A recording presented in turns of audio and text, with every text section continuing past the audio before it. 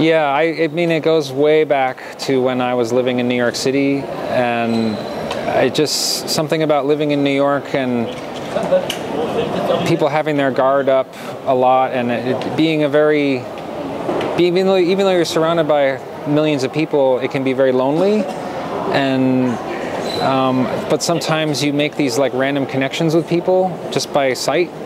And I, I thought, what if two people made this random connection, but then they lost each other? And what would the story be if he, if this guy was trying to find this girl again that was perfect for him?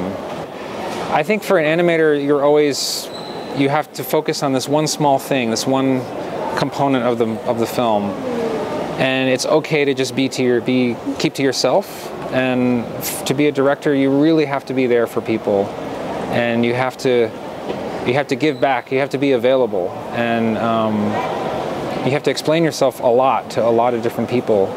And just once they get going, though, I think people just will always surprise you with how great they can. They'll just run with this with the ideas that you're telling them. So the process is a, is a hybrid. I mean, a true hybrid of the of both of the mediums, and I think it really has best of both worlds. Like it has the stability and the dimensionality of CG, and it has that beautiful line and, and expressiveness that, that hand drawn can have.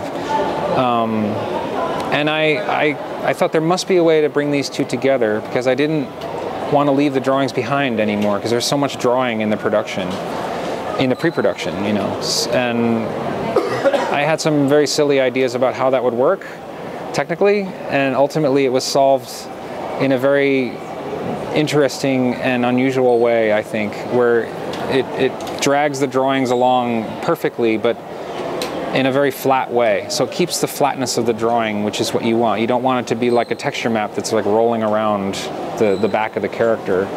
Part of the technique is the technology, but another part of the technique is just visual decision making. Like if you if you're going to put line work on top of CG, the CG can't look like regular CG. It has to speak to the line work. It has to feel natural with it, and it can't be all dimensional and round and perfectly lit. So a lot of the CG lighting that we were doing was very flat and very flat toned, and and that was something that the lighters had to get used to. It was like a new thing for them.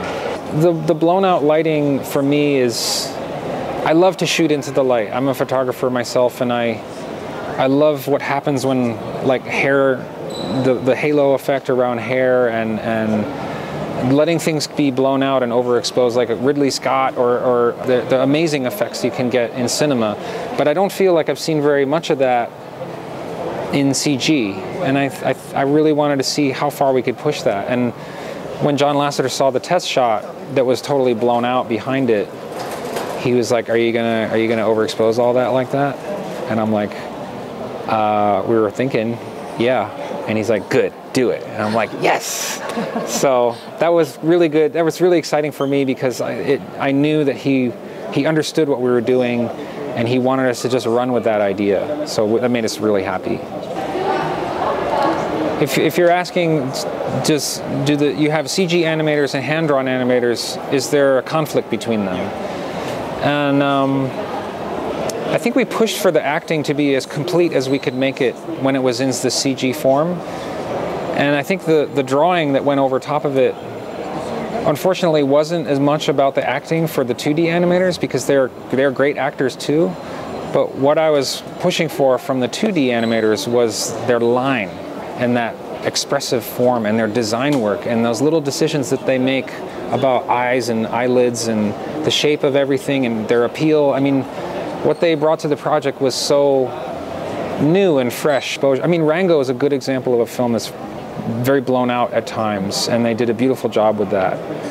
And um, that whole thing is just very interesting. And I, I think if I was to make, if I did make Paperman in straight CG, I still would have pushed for that overexposure. And and there's a lot of great tools um, that allow you to do that nowadays. You know.